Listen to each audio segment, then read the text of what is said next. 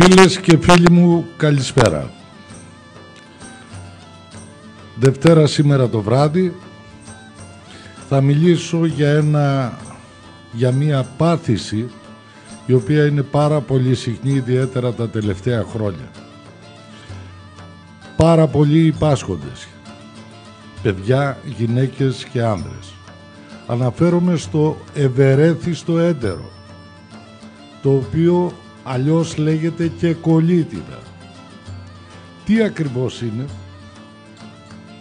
Το σύνδρομο του ευερεθίστου εντέρου, σίγμα ε, ε, γνωστό και σαν σπαστική κολίτιδα ή κολίτιδα, είναι η συχνότερη λειτουργική κλινική διαταραχή του πεπτικού συστήματος. Η καλοήθης αυτή πάθηση, παρά το γεγονός ότι δεν απειλεί τη ζωή, επηρεάζει την ποιότητα ζωής των ασθενών γιατί επιδρά επάνω στην ικανότητα της εργασίας ε, και στην ε, κοινωνική δραστηριοποίηση. Το ευερέθιστο έντερο επηρεάζει την ποιότητα ζωής σε σημαντικότερο βαθμό από όσο οι μικρανίες, το άσθμα, η κατάθλιψη και ο διαβήτης. Υπάρχουν ενδείξεις ότι επηρεάζει αρνητικά τις δραστηριότητες αναψυχής, τα ταξίδια, τη σεξουαλική λειτουργία, την ελεύθερη διατροφή και τον ύπνο, ενώ είναι η δεύτερη κύρια αιτία για απουσία από τη δουλειά μετά από ένα κοινό κρυολόγημα. Αυτοί που πάσχουν απουσιάζουν κατά μέσο όρο από το σχολείο, από την εργασία, περίπου 13 ημέρες το χρόνο. Υποβάλλονται σε πάρα πολλές χειρουργικές επεμβάσεις όπως είναι η δεκτομή, σε γυναικολογικές επεμβάσεις οι γυναίκες, ε, πιθανώς λόγω λαθασμένης διάγνωσης και καταναλώνουν σημαντικούς πόρους υγείας σε συχνές επισκέψεις σε γιατρούς ε, εξαιτίας των φαρμακευτικών αγωγών. Συνεπώς, όταν λέμε κολίτιδα, εννοούμε μία φλεγμονή του παχαίου σεντέρου. Αν και υπάρχουν πολλές αιτίες που οδηγούν στην κολίτιδα, συμπεριλαμβανομένων λοιμόξεων, κακής αιμάτωσης, ισχυμία και άλλων ε, αντιδράσεων του οργανισμού που πάρα πολλοί ε,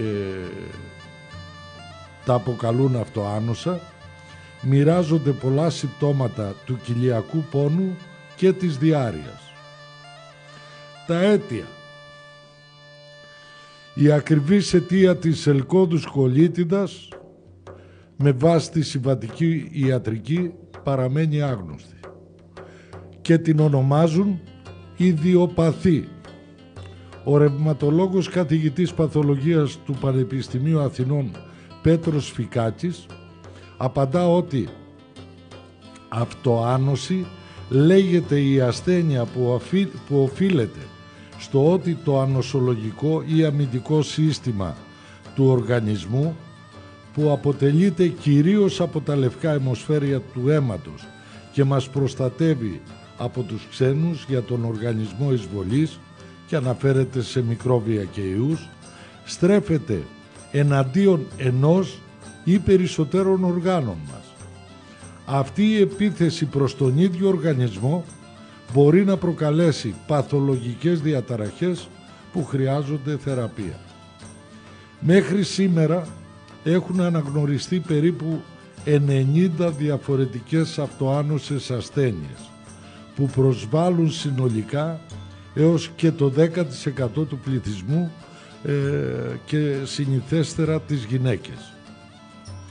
Όταν το ανοσολογικό σύστημα στρέφεται εναντίον των οργάνων που αποτελούνται και από κολαγόνο που είναι συστατικό του συνδετικού ιστού όπως παραδείγματος χάρη οι αρθρώσεις τότε αυτές οι αυτοάνωσες ασθένειες ονομάζονται κολαγονώσεις. Αντίθετα όταν δεν γνωρίζουμε πού οφείλεται μία ασθένεια, ονομάζεται ιδιοπαθής. Εδώ θα κάνω την εξής παρατήρηση. πώς μπορεί να θεραπεύσει μία πάθηση για την οποία δεν γνωρίζει τα παθολογικά αίτια ένας γιατρός; Και γιατί δέχονται επισκέψεις από άτομα που πάσχουν από την ιδιοπαθή πάθηση της κολίτιδας μήπως θα πρέπει και εσείς οι ασθενείς να συνειδητοποιήσετε ότι η συμβατική ιατρική έχει σηκώσει χέρια πόδια ψηλά όσον αφορά τη θεραπεία της κολίτιδας. Δεν τη θεραπεύει. Απλά την καταστέλει όπως κάνει με τα περισσότερα φυσικά διότι είναι ένα τέρας η σημερινή ιατρική η οποία συνδέεται με τη φαρμακοβιομηχανία ένα τέρας που τρέφεται από τις άρκες ολονών μας και χρειάζεται αγελάδες χρειάζεται το γάλα. Άρα καθημερινά θα πρέπει να παίρνει γάλα.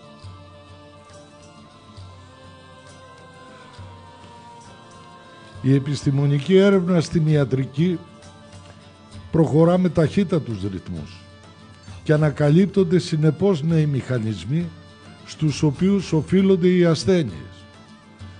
Αυτός ο όρος θα χρησιμοποιείται όλο και λιγότερο, ευελπιστούν ε, στα επόμενα χρόνια. Ε, αναφέρουμε στον όρο ιδιοπαθής και δεν είναι μόνο για την κολίτιδα, πιστέψτε με. Πιο παλιά η διατροφή και το άγχος ήταν η βασική ύποπτη για αυτή την νόσο. Αλλά τώρα οι γιατροί γνωρίζουν ότι αυτοί οι παράγοντες οι ίδιοι μπορεί να επιδεινώσουν αλλά δεν προκαλούν την ελκώδη κολίτιδα ή την κολίτιδα.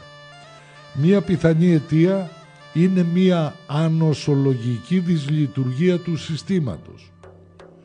Όταν το ανοσοποιητικό σύστημα προσπαθεί να καταπολεμήσει μία εισβολή ιού ή βακτηριδίου, τότε μια μη φυσιολογική ανοσολογική απόκριση κάνει το ανοσοποιητικό σύστημα να επιτεθεί στα κύτταρα του πεπτικού σωλήνα. Η κληρονομικότητα φαίνεται να παίζει ένα ρόλο, αν και προσωπικά δεν το πιστεύω. Αφού η κολίτιδα είναι πιο συχνή σε άτομα που έχουν στην οικογένειά τους μέλη με αυτή την ασθένεια. Ωστόσο οι περισσότεροι άνθρωποι με κολίτιδα δεν έχουν κάποιο σχετικό οικογενειακό ιστορικό. Απλή κολίτιδα. Πιθανά αίτια. Η κολίτιδα μπορεί να οφείλεται σε ιογενείς λοιμώξεις, σε προβλήματα κυκλοφορίας του παχαίου σεντέρου, ισχυμία, σε κληρονομική προδιάθεση και τέλος μπορεί να είναι αποτέλεσμα τροφικής δηλητηρίασης. Ελκώδης κολίτια, κολίτιδα, τα αίτια. Η φλεγμονή ξεκινά από τον προκτό και μπορεί να καταλαμβάνει οποιαδήποτε απόσταση μέχρι το τυφλό, το πρώτο δηλαδή τμήμα του παχαίου σεντέρου.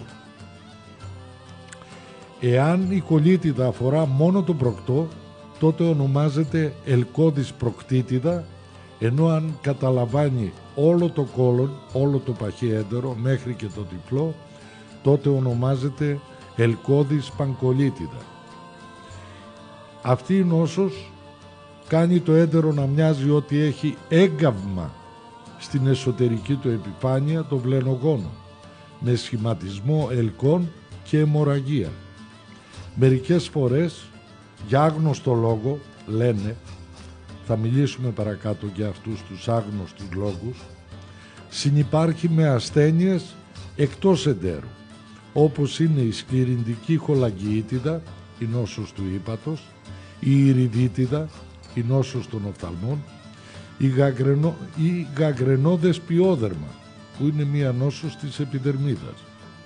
Η ελκώδης κολίτιδα είναι προκαρκινική κατάσταση και η πιθανότητα εμφάνισης κακοήθειας, καρκίνου δηλαδή, αυξάνει όσο περισσότερο αυξάνει η διάρκεια της νόσου.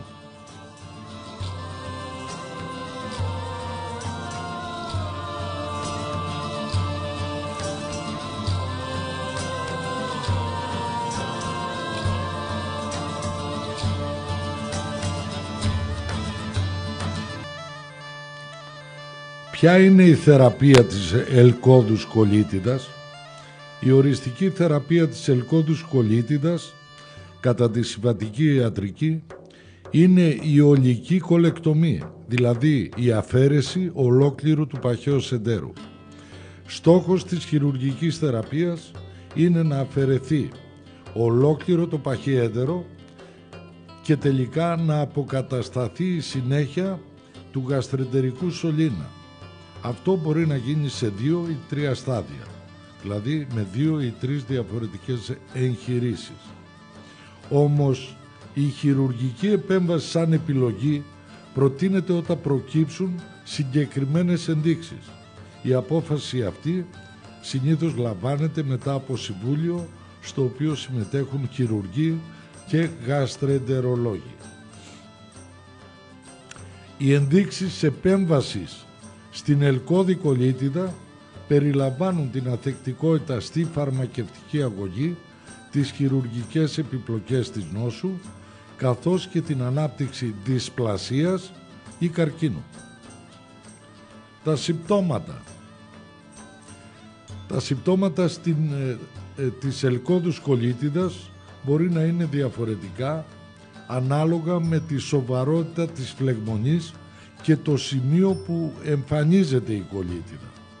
Ως εκ τούτου ε, οι γιατροί ταξινομούν την ελκώδη κολίτιδα ανάλογα με τη θέση της.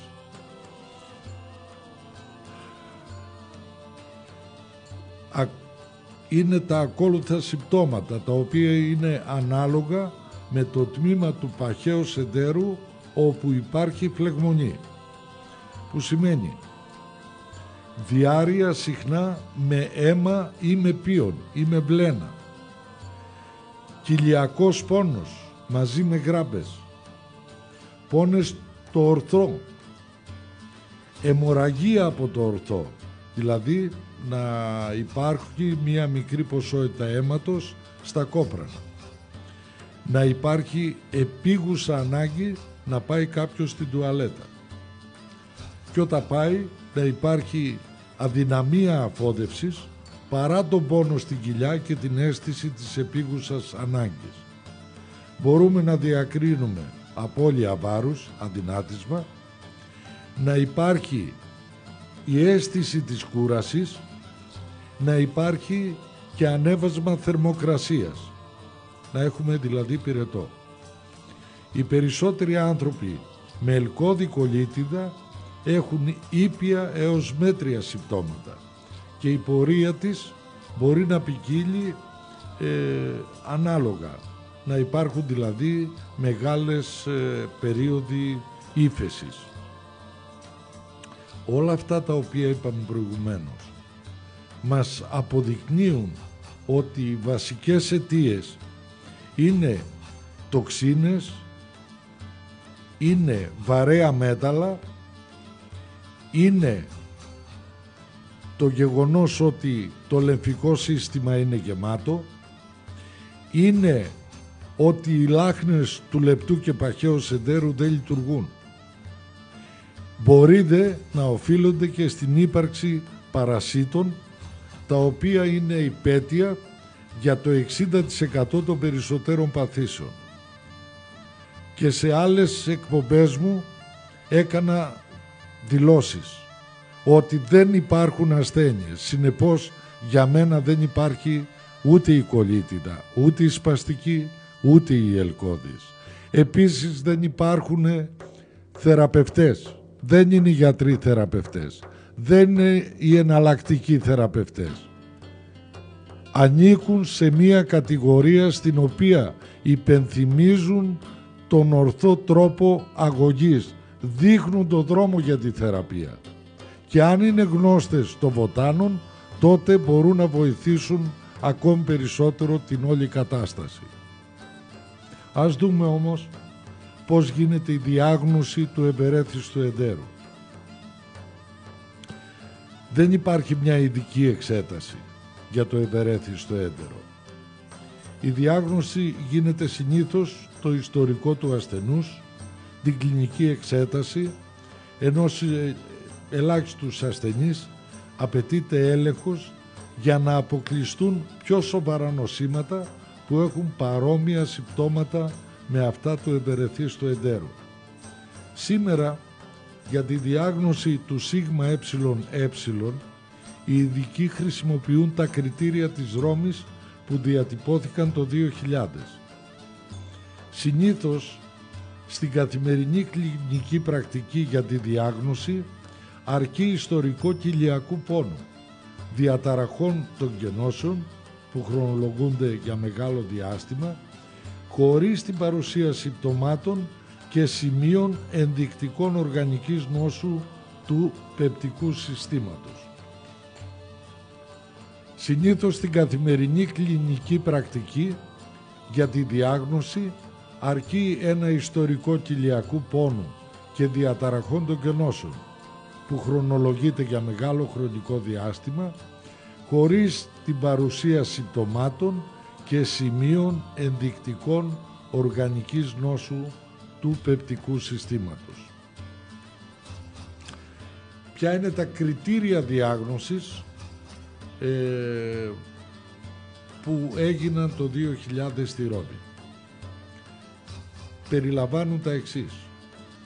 Πόνος ή δυσφορία στην κοιλιά για διάστημα τουλάχιστον 12 εβδομάδων ε, κατά τον προηγούμενο χρόνο που ανακουφίζεται αυτή η δυσφορία με την αφόδευση συνδυάζεται με αλλαγή της σύστασης των κοπράνων και συνδυάζεται με αλλαγή της συχνότητας των γενώσεων. Δύο ή περισσότερα από τα παρακάτω συμπτώματα κάνουν πιο βέβαιη τη διάγνωση.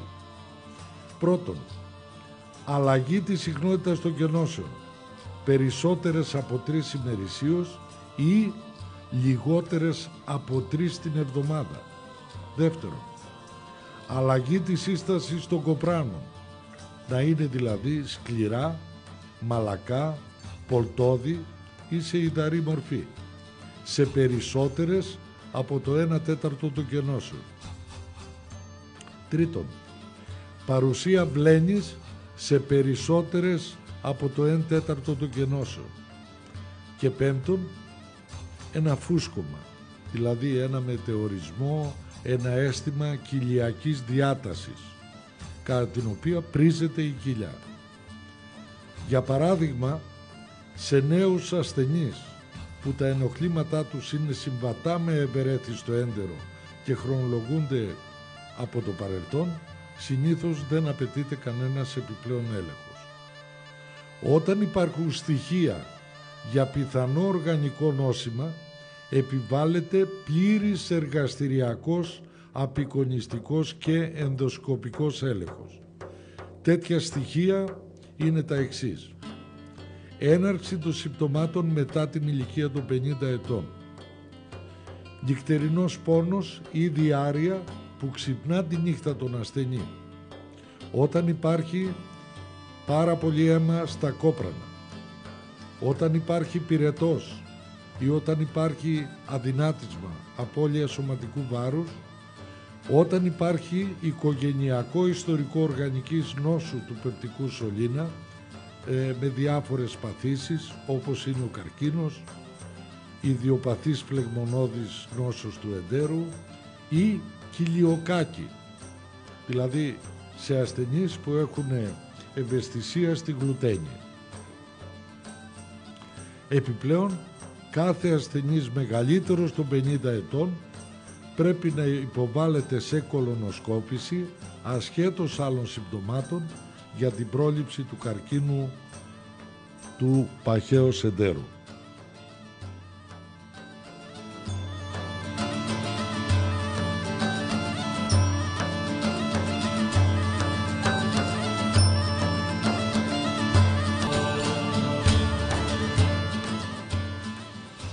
Ποια είναι τα συμπτώματα της κολίτιδας εξαρτάται από τον τύπο της κολίτιδας που έχει ο ασθενής. Σε γενικές γραμμές η κολίτιδα συνοδεύεται με κοιλιακό άλγος, πόνο στην κοιλιά και με διάρρεια.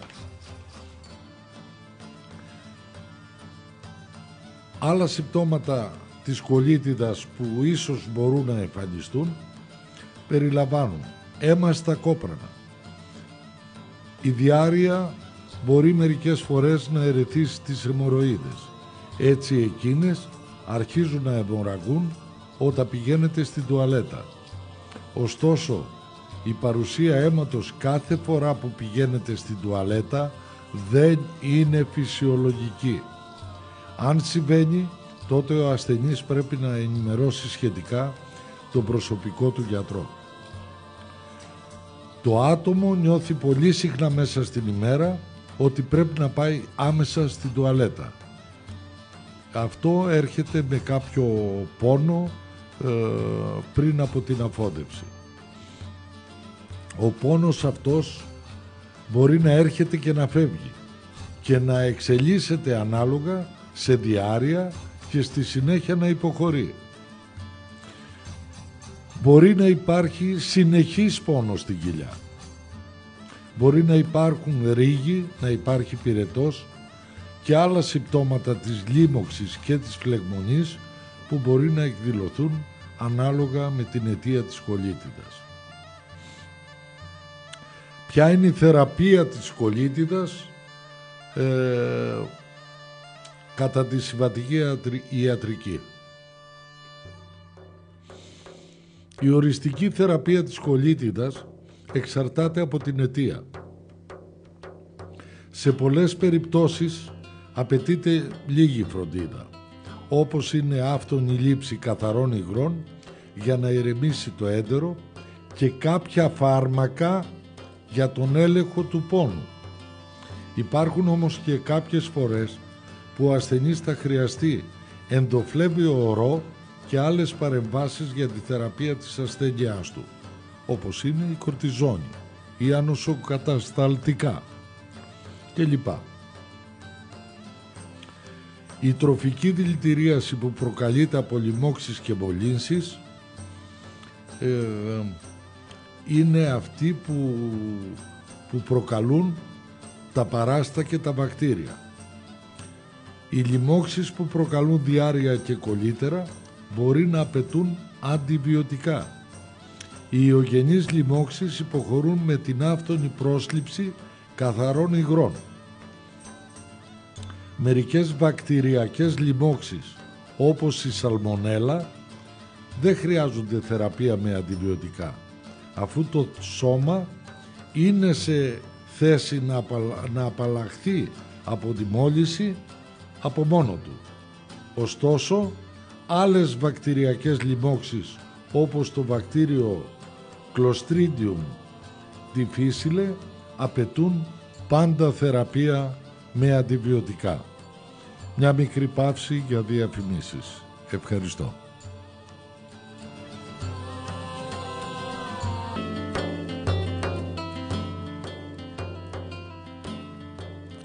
Ισχεμική κολίτιδα. Η θεραπεία της ισχεμικής κολίτιδας γίνεται αρχικά με ενδοβλέπια χορήγηση υγρών για να ηρεμήσουν τα έντερα και να προληφθεί η αφυντάτωση.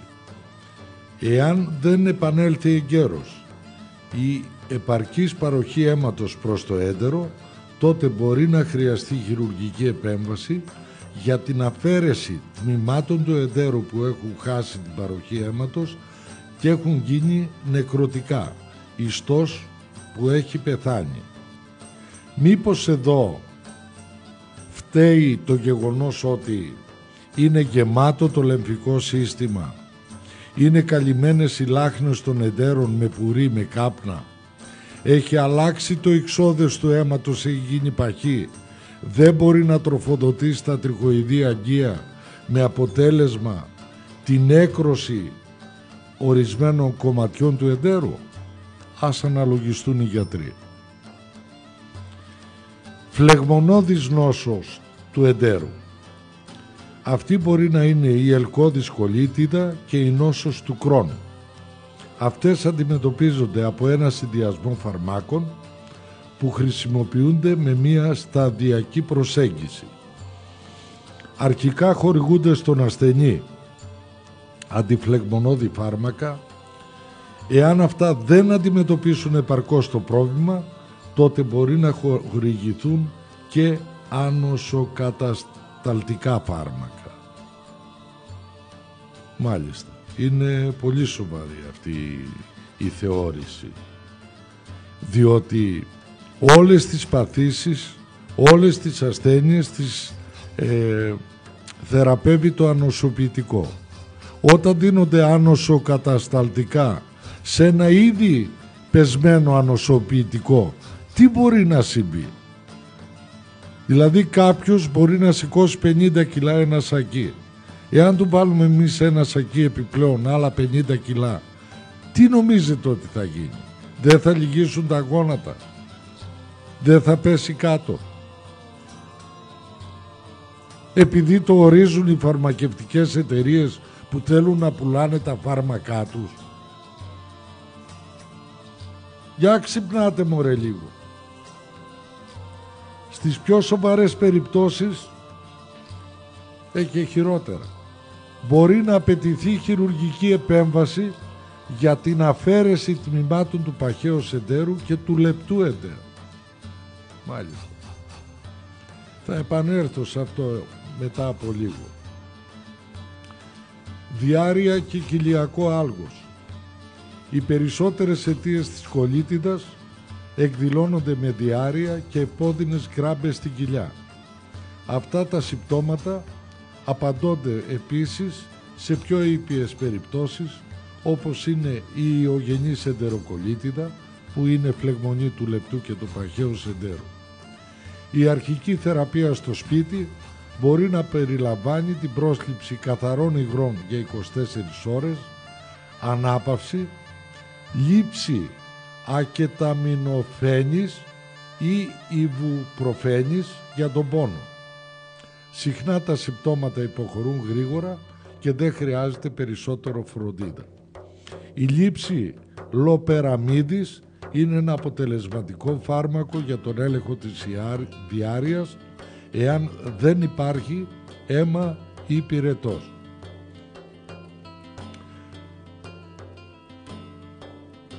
Άλλα στοιχεία που μπορούν να ηρεμήσουν τη σπαστική κολλήτητα τελείως φυσικά είναι οι τροφές ολικής άλεσης. Η μαγική συνταγή κρύβεται στην κατανάλωση προϊόντων ολικής άλεσης. Προϊόντα που περιέχουν φυτικές ίνες και κάνουν καλό στο πεπτικό σύστημα. Υπάρχουν και τροφές τις οποίες δεν πρέπει να τρώτε και ενοχοποιούνται για την έξαρση της νόσου. Είναι καλό να αποφεύγετε γαλακτοκομικά προϊόντα, γενικά, τυροκομικά, καφεΐνη, επεξεργασμένες τροφές που περιέχουν πολύ ζάχαρη αλλά και σοκολάτα. Μπορείτε όμως να καταναλώσετε τζίτζερ γιατί έχουν αποδείξει διάφορες επιστημονικές μελέτες και έρευνες ότι καταπραίνει τα εταιρικά προβλήματα. Η γιόγκα, χάρη στις ασκήσεις χαλάρωσης και ενδυνάμωσης των μειών της περιοχής της κοιλιάς, ανακουφίζει από τα ενοχλητικά συμπτώματα της παστικής κολίτιδας. Ύπνος. Φροντίστε να κοιμόσαστε τουλάχιστον 8 με 10 ώρες κάθε βράδυ, ώστε να ελέγχετε τα συμπτώματα της πάθησης.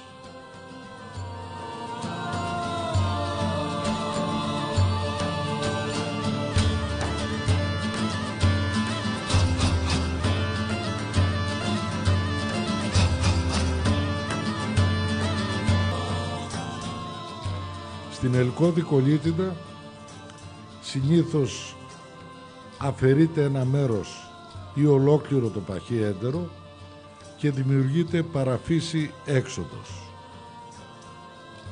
Είναι μία κάποια λύση.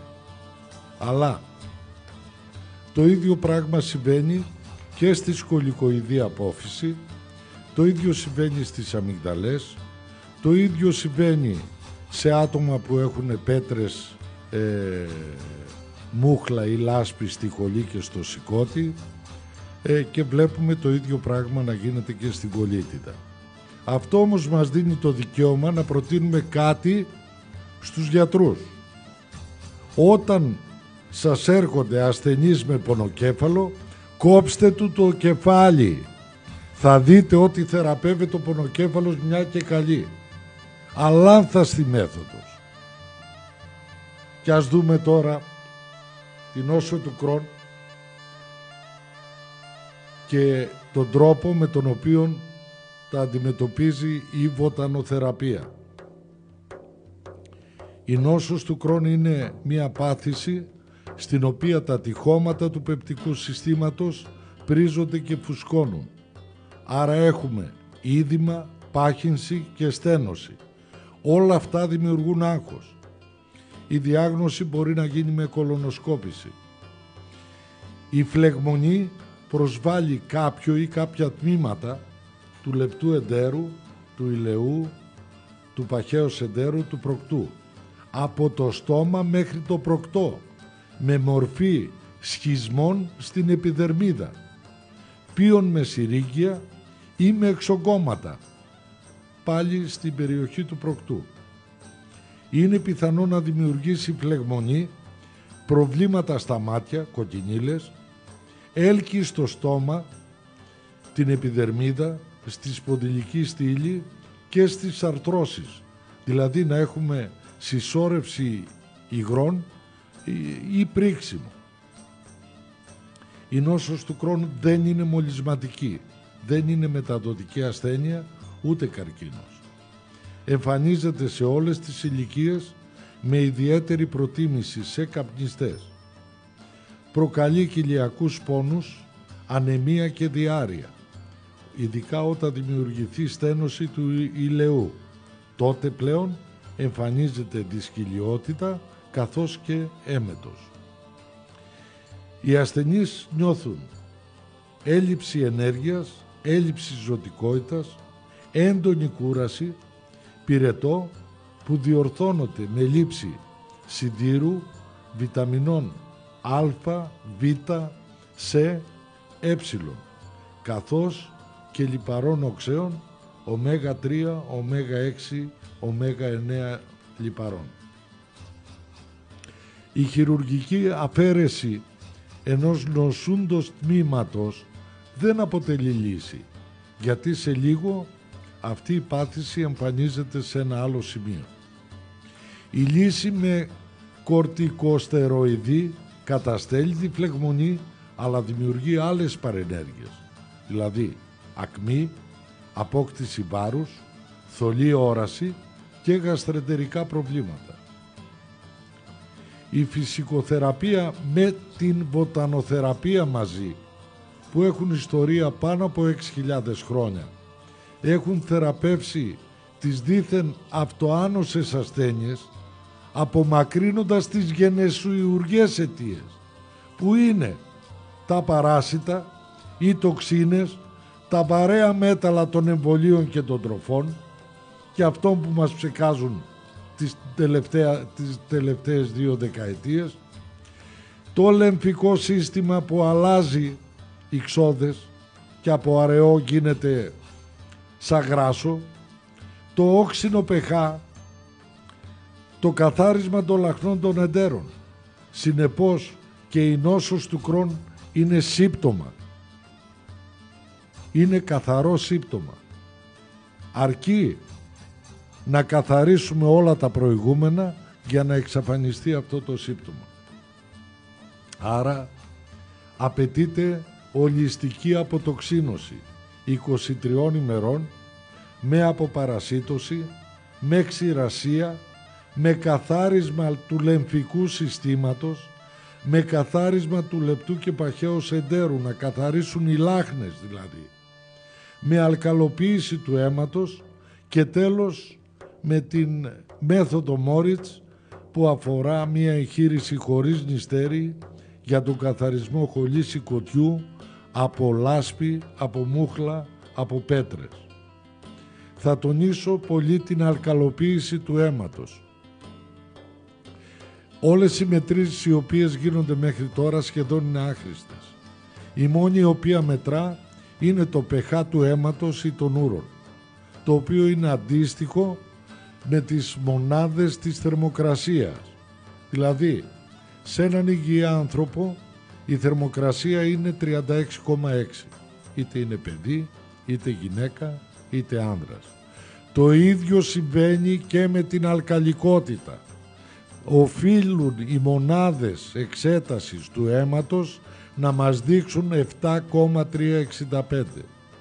Πάνω από εκεί ο οργανισμός είναι βασικός, κάτω από εκεί είναι όξινος. Ε, σας πληροφορώ ότι το 99,9% των ανθρώπων έχουν όξινο περιβάλλον, έχουν διάφορα συμπτώματα για τα οποία πολλές φορές ντρέπονται ακόμη και να τα πούν στον καθρέφτη την ώρα που βλέπουν, την ώρα που κτενίζονται. Πολλοί άνθρωποι έχουν ευαισθησία σε διάφορες τροφές, αλλά δεν το γνωρίζουν. Παραδείγματος χάρη, μία ανεκτικότητα σε λακτόζη που προέρχεται από το γάλα, από τα διάφορα τυροκομικά προϊόντα. Άρα, αποχή μερικών εβδομάδων από αυτά θα μπορούσαν να δώσουν μία καλή λύση. Άλλοι έχουν ευαισθησία στη γλουτένη, στην πρωτεΐνη των δημητριακών.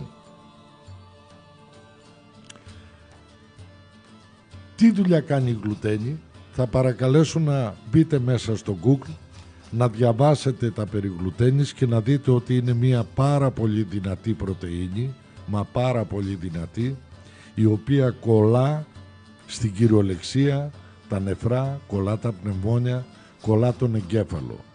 Και σαν αποδεικτικό της γλουτένης σας παρουσιάζω ότι τα τελευταία χρόνια ψήφισαν ανθρώπους ε, τους οποίους οι οποίοι μας έβαλαν στα μνημόνια και ξαναψήφισαν τους ίδιους για να δώσουν λύση. Εάν δεν είναι κόλλημα αυτό, τότε τι μπορούμε να αποκαλέσουμε κόλλημα; Θα μπορούσαν να δοκιμάσουν ψωμί από δίκοκο σιτάρι Ζέας και αναφέρομαι στο δίκοκο σιτάρι τύπου Φάρο Ιταλίας το οποίο περιέχει λιγότερο από 5 της χιλής γλουτένη σε αντίθεση με το δίκοκο σιτάρι της Γερμανίας το Ντίγκελ το οποίο περιέχει 18% γλουτένη. Τα υπόλοιπα άλευρα, υβρίδια, δημητριακά τα οποία καλλιεργούνται στην Ελλάδα και στο εξωτερικό και τα τρώμε σε διάφορες μορφές είτε σε μορφή ψωμιού είτε μακαρονών περιέχουν πάνω από 30-36% γλουτένη. Άριστη λύση είναι ένα δημητριακό που, ε, που καλλιεργείται στην Αιθιοπία και παράγουν ψωμί και λέγεται τεφ. Το συλλαβίζω T-E-F-F τεφ. Από αυτό κάνουν ψωμί στην Αιθιοπία. Θα μπορούσε να βοηθηθεί ο οργανισμός με διάφορους βιολογικούς χυμούς οι οποίοι αυξάνουν την αλκαλικότητα. Πρώτον, ένα ξινομήλο με δύο φύλλα κόκκινου λάχανου συν δύο κουταλιές της σούπα τσίντζερ συν μία φούχτα φρέσκια μολόχα συν αγριάδα, συν σπανάκι, συν μαϊντανό. Όλα αυτά θα μπορούσαν να μπουν σε ένα αποχυμωτή και να πίνετε ένα με δύο φλιτζάνια ημερησίως. Δεύτερη συνταγή. Ένα ξινό μήλο, ένα πατζάρι, δύο καρότα, τρεις κουταλιές της σούπας μαϊντανό, τρεις κουταλιές της σούπας αγριάδα, φρέσκια εννοείται, και δύο κουταλιές της σούπας ε, ε, στελέχη από σέλινο. Τρίτη συνταγή. Δύο πορτοκάλια, ένα grapefruit, μία φέτα ανανά, συν μισή παπάγια, συν μισό μάγκο, συν μισό αβοκάντο. Τα ένζημα του ανανά και της παπάγιας, η παγκρεατίνη και η βρωμελίνη βοηθούν στην πέψη και έχουν φυσική αντιφλεγμονώδη δράση. Κάτι που μπορεί να βοηθήσει επίσης και μπορούν να το χρησιμοποιήσουν και οι γυναίκες κατά τη διάρκεια της περίοδου, ειδικά την πρώτη με δεύτερη μέρα, είναι οι κομπρέσες στην κοιλιακή χώρα ε, κάθε βράδυ για τρία λεπτά ζεστές και για ένα λεπτό κρύες, παγωμένες. Έτσι γίνεται ένα εσωτερικό μασάζ όπου οι ζεστές κομπρέσες διαστέλουν τα κύτταρα, τα αγγεία και οι κρύες τα συστέλουν. Αυτό μπορεί να γίνει τρεις ή τέσσερις φορές. Τρία λεπτά ζεστές κομπρέσες και ένα λεπτό παγωμένες. Προσθέστε τις κόκκινες φλούδες των ξερών κρεμμυδιών σε σούπες, σε λαδερά φαγητά και μετά μπορείτε να τα αφαιρέσετε. Αυτά περιέχουν βαλακετόνι που βοηθά στις κενώσεις, στην δυσκυλιότητα και ειδικά περιέχουν άφθονη ποσότητα κουερσετίνης. Αναφέρομαι σε καρκινοπαθείς. Η, μία πολυεθνική εταιρεία έχει το Glimbeck, ένα αντικαρκινικό φάρμακο, για θεραπεία 20 ημερών και το πουλά 1500 δολάρια ε, στον καταναλωτή. Τι περιέχει; Περιέχει κουερσετίνη η οποία εμποδίζει τον πολλαπλασιασμό των καρκινικών κυτάρων. Άρα μπορείτε να έχετε τα ίδια ευεργετικά αποτελέσματα του Glimbeck από ένα τσάι με ξεράς φλούδες κρεμμυδιών. Τρώτε τρεις κουταλιές της σούπας ημερησίως σπόρους από ψήλιο, από πλαντάγκο. Η φυτική κόλλα των σπόρων απορροφά το νερό, διωγγώνονται, προσθέτει όγκος στα κόπρανα και διευκολύνει με φυσικό τρόπο την περισταλτικότητα των εντέρων.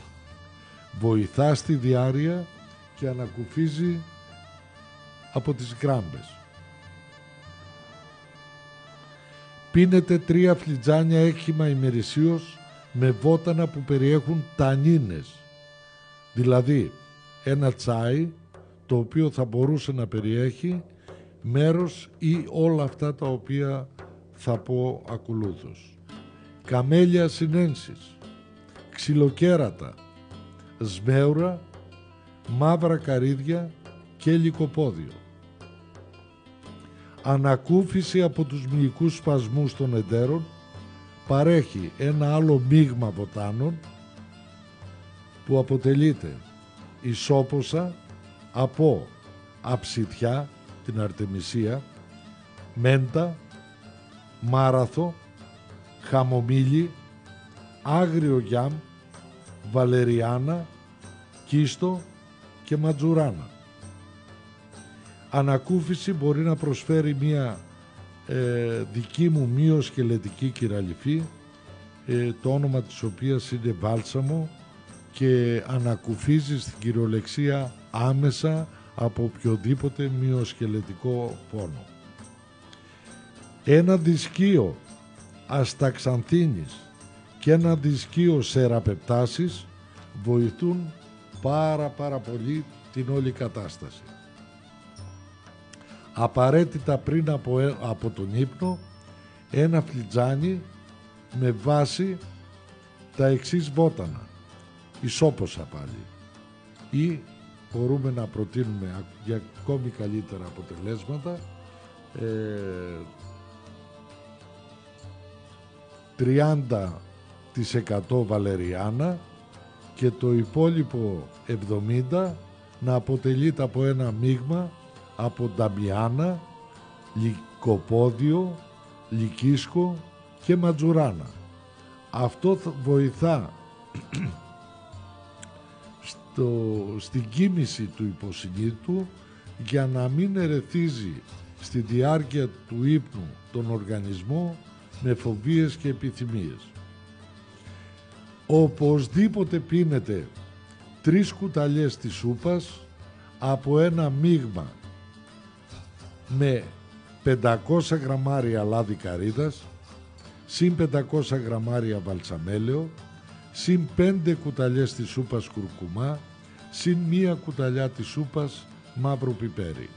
βοηθά πάρα πολύ στην καλή λειτουργία του εγκεφάλου.